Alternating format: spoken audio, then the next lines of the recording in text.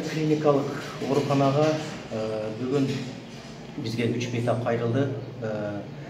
эки бейтап күйүк менен бир бейтап травма менен кайрылган биринчи бейтап элүү процент ожог менен бизге жаткырылды жандандыруу бөлүмүндө азыр акыбалы оор керектүү дары дармектерин алып атат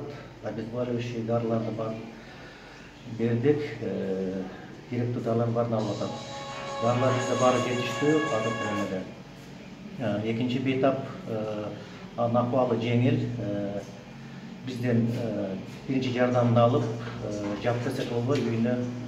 үйүнө кетти үйдө эле дарыланам деп үчүнчү бейтап бул ошол жерде өрт өчүрүп атып жыгылып түшүп башы жарылып ал да бизге кайрылып бизден биринчи жардамды алып ал да үйүнө кетти ошол өрт өчүрүү адисинин кызматы бирки бейтапта өрт өчүрүү адис кызматкердин адиси. Ошол эки адис кандай эмелер менен жалоб менен кайрылды сизге бирөөсү жана бети бети бети менен мойну күйүп кайрылды үч төрт процент ожог менен кайрылды. Үчүнчү бейтап бул башы жарылып кайрылды жардам